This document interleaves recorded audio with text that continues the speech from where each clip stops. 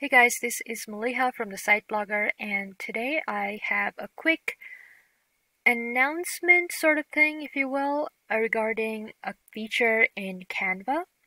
Um, it's not so much a tutorial as it is um, an introduction to what the feature is.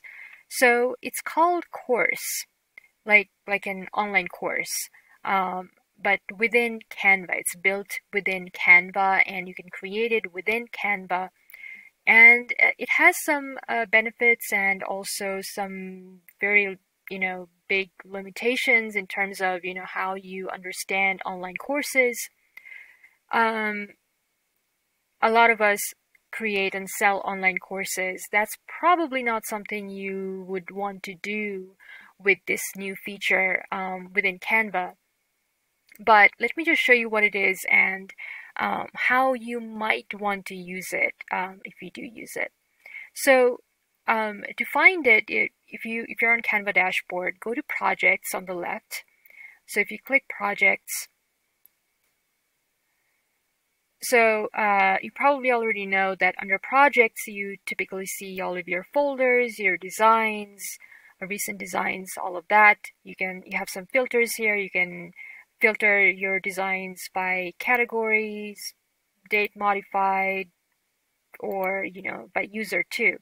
If you have multiple user, um, if you have a team, maybe on your Canva account. So this is the projects tab, and on the top right corner it says add new. So when you click add new, you can create a folder, you can upload design, import from app, and there's this option, it's called course. So uh, if you follow my cursor, the yellow blob, if you click on course, you come here. And it says you have created a course, it's a short tutorial. Uh, Canva is basically guiding you with some tool tips. This is a neat way to view and share your folder content, arrange your designs in order, um, add a description, and decide how your team engages with each activity. So right away tells you that it's probably best if you have a team.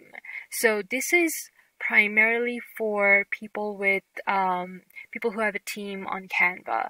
Uh, if you use Canva for your team, if you have people uh, who work with you um, and they're on the same uh, same Canva account, uh, they're sharing the same Canva account um, as a team, um, that's when you might want to use this feature to um, do various things. So I'll just give you one simple example.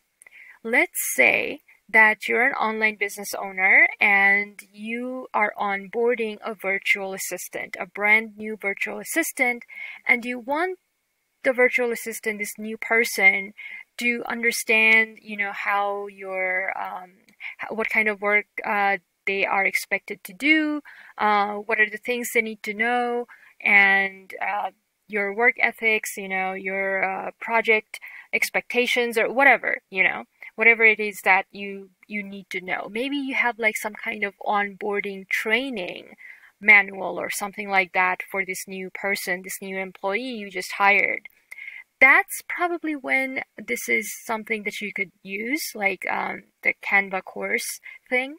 It's not something that I would say would work in the traditional sense, like, you know, I have, for example, if you go to the sideblogger.com, I have an online course where I teach people how to sell Canva templates. So if you go to courses, under courses, you'll see side income with Canva.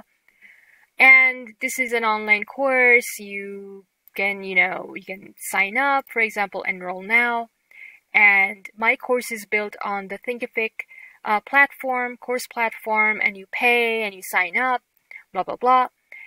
Now, that's something, that's the kind of online course that we are familiar with, right? Like you, as a creator, you create an online course and you sell it, and anybody can purchase the course um, and then sign up and go through the course that's not what you can use the Canva course for. You can't just sell Canva course, um, and it's it's not it's also not as robust as some of the platforms that are built for online courses.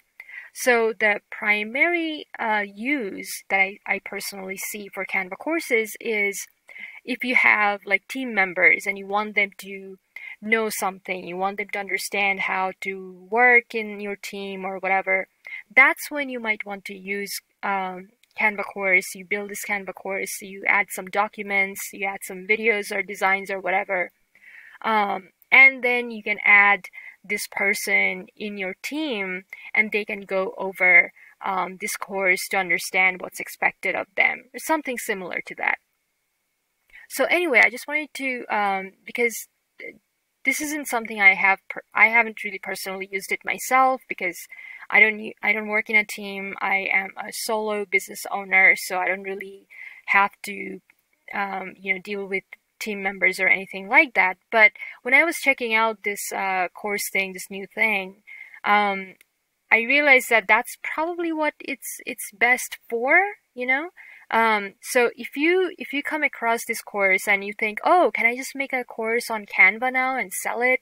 No, that's that's not how it's gonna work because it's it's not um, something you can sell to just anyone, or it's not it's not as robust as some of the other um, online course platforms like Thinkific or Teachable or Podia and you know platforms like that, um, or even WordPress, LearnDash, or MemberPress. Um, it's it's not like that. So yeah, so not to get confused, um, it's great for people with teams. If you want your team members to go over some um, resources, then you can use the course plat uh, the course feature on Canva. But other than that, um, as as as the feature is right now, it's not any more used than um, that. Yeah, hopefully that made sense.